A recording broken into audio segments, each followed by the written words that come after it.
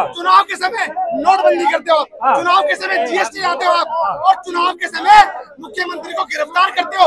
ऐसे नहीं चलाओगे आप। मोदी सरकार कुछ शर्म करो और शर्म नहीं है तो डूब मरो ये सरकार पूरी तरह से डरी हुई है। ये नारा लगाते हैं 400 पार का लेकिन इनको पता है कि ये सरकार नहीं बना पा रहे हैं। इसी घबराहट में इसी बौखलाहट में इस तरीके की हरकतें इनके द्वारा लगातार की जा रही है। जिस तरह पूरे विपक्ष को गिरफ्त किया जा रहा है फर्जी मुकदमों में चुनाव से पहले और कमज़ोर किया जा रहा है ये उसके खिलाफ है। जब जब जुल्मी जुल्म करेगा सत्ता के गलियारों से चप्पा चप्पा गूंज उठेगा इंकलाब के नारों से। बंद करो। बंद करो बंद करो। विपक्षी पार्टियों को बंद करना बंद करो। बंद करो बंद करो। देश की आवाज़ दबाना बंद करो। बंद करो बंद करो। बेराजगार बेरोजगारी पे बात करो। बात करो बात करो। दिखाई दे रही है यूथ कांग्रेस के अध्यक्ष श्रीनिवास बीवी भी अब बैरिकेड पर चढ़ चुके हैं और यहाँ से आगे जाने की तैयारी कर रहे हैं। जिस तरीके से लगातार विपक्ष के तमाम नेताओं पर बड़ी कार्रवाई हो रही, चाहे वो ईडी के ज़रिए हो सीबीआई के ज़रिए हो, और अब कांग्रेस पार्टी के तमाम अकाउंट फ्रीज कर दिए गए कल इनके नेता राहुल गांधी प्रेस कॉन्फ्रेंस की जानकारी दे रहे थे, उसके बाद आज यूथ कांग्रेस के ये कार्यकर्ता यहाँ पर प्रदर्शन करने आए लेकिन लगातार दिल्ली पुलिस की तरफ़ से कहा जा रहा है कि धारा 144 लागू है, आपको आगे नहीं जाने दिया जाएगा। आगे जाने की अनुमति नहीं मिलेगी। ये तमाम तस्वीरें आपको दिखाई दे रही हैं और जिस तरीके से देश में इलेक्टोरल बॉन्ड का भी मामला है, वो भी सामने आया है और उसके भी खिलाफ भी आवाज़ें उठाई जा रही है। जिस तरीके से कल अरविंद केजरीवाल को गिरफ़्तार किया गया और उसके बाद अब लगातार विपक्ष के तमाम नेताओं पर कार्रवाई होती दिखाई दे रही है। अंग्रेज़ों ने भी उतना जुल्म अपनी जनता पर नहीं किया था जितना जैसा कि पापा की पुलिस आज देश की जनता पर कर रही है। कह रहे लोकतंत्र मज़बूत हो रहा है। लोकतंत्र को मजबूर कर देने का अगर किसी ने काम किया है तो भाजपा की सरकार ने किया है। ये लोकतंत्र को खत्म करने के लिए आए हैं और चौबीस के बाद में पूर्ण रूप से लोकतंत्र को खत्म कर देंगे। क्या कहेंगे जिस प्रकार से ईडी के द्वारा सीएम अरविंद केजरीवाल देखिए, ये दो चुने हुए मुख्यमंत्रियों को गिरफ़्तार कर चुके हैं और वो लोग भाजपा में जाना कबूल नहीं किए, जेल में जाना कबूल किए बीजेपी में नहीं जाएँगे वो लोग वो लोग इस तानाशाह लोकतंत्र के जो मालिक हैं उनसे लड़ने का लगातार काम करते हैं। भ्रष्टाचार की एक लंबी फहरिस्त है। बिल्कुल ही भ्रष्टाचारी है।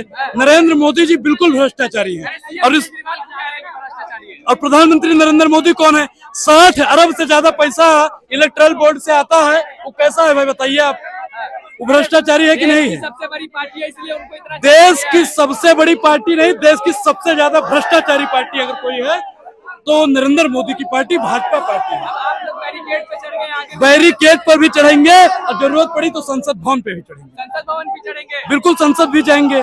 भाई जब जब जुल्मी जुल्म करेगा सत्ता के गलियारों से चप्पा चप्पा गूंज उठेगा इंकलाब के नारों से। मोदी सरकार कुछ शर्म करो और शर्म नहीं है तो डूब मरो। मोदी तेरी तानाशाही नहीं चलेगी नहीं चलेगी मतलब नहीं चलेगी। चोर बेईमान की सरकार है और जो बेईमान नहीं है, उसको बेईमान साबित करके सलाखों के अंदर डालता है। जैसे कि देख सकते हैं कि शांति पूर्वक हम लोग प्रदर्शन किए, उसके बाद भी हम लोग के अरेस्ट किया गया है। तो और उसके बाद एक पर एक मुख्यमंत्री को धीरे धीरे करके अंदर कर रहा है। पहले झारखंड के, फिर दिल्ली के। ये करना चाहता है एक राजा, एक ही शासन। और जनता की बात सुनना नहीं चाहता है। कभी मीडिया के सामने देखे नरेंद्र मोदी आगे आया है। नहीं आया, क्योंकि उसमें बहुत सारी कमियाँ हैं।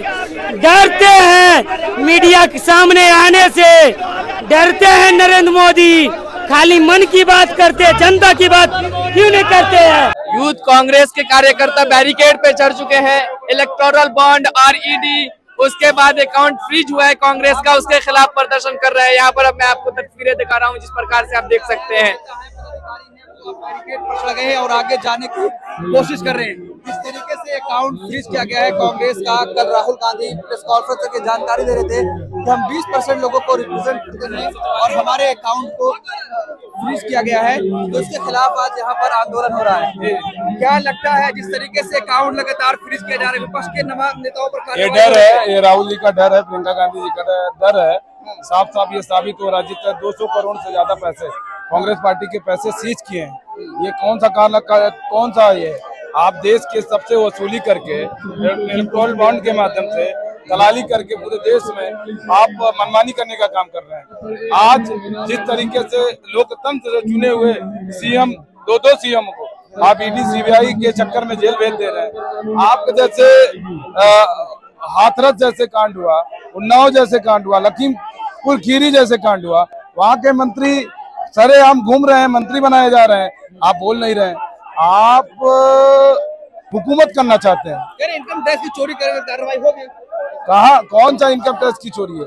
आपके पास तमाम ऐसे चोर हैं फिर। तब तो आपकी पूरी पार्टी जेल में भेज देना चाहिए। बताइए किसका जैसा कौन है? अमित शाह कौन है? अमित शाह के ऊपर मुकदमे है। तमाम ऐसे केस हैं जो जो पूरी, तरीके से भ्रमित करने का काम कर रहे हैं। लोगों को धार्मिक मुद्दे पे लाकर बदनाम करने का काम करते हैं और चेंज करने का काम करते हैं। क्या प्रधानमंत्री डर चुके हैं क्या? पूरी तरीके से प्रधानमंत्री डरे हुए हैं। राहुल गांधी और प्रियंका गांधी जी की लोकप्रियता दिन से प्रतिदिन लगातार बढ़ रही है। ये साबित हो रहा है 2024 में इंडिया गठबंधन की जो हमारी ये अलायंस है, निश्चित से जीत होगी। पूरी बौखलाहट है कि अगर कांग्रेस पार्टी के पास पैसे रहेंगे, कांग्रेस पार्टी के पास संसाधने रहेंगे तो कांग्रेस पार्टी बहुत ज़्यादा मज़बूत होकर ज़मीन पर जुड़ जो जुड़ रहे हैं, जो लोग, उनसे अच्छा काम करने का काम करेंगे। कार्रवाई हो रही है, आप लोग प्रदर्शन कर रहे हैं, लेकिन आगे नहीं जाने दिया जा रहा है, यहीं पर रोका गया है।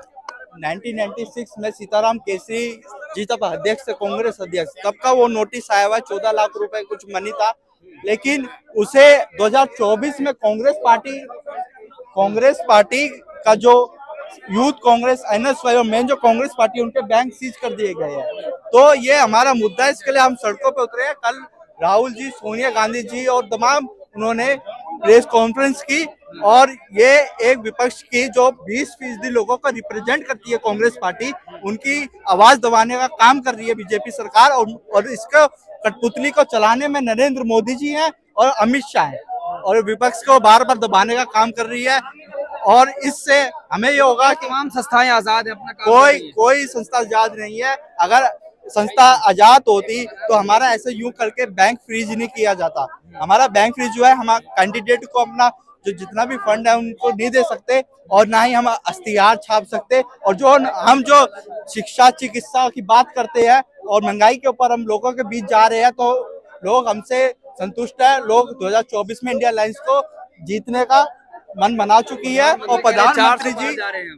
वो 400 बीसी करके 400 पार जा रहे हैं। 400 बीसी करके तो कोई भी 400 पार जा सकता है लेकिन वो 400 बीसी इसलिए कर रहे हैं क्योंकि 400 बीसी के हाथ में सीबीआई ईडी इनकम टैक्स और तमाम मीडिया है तो इसलिए वो 400 बीसी करके 400 पार करने का ड्रामा कर रहे हैं।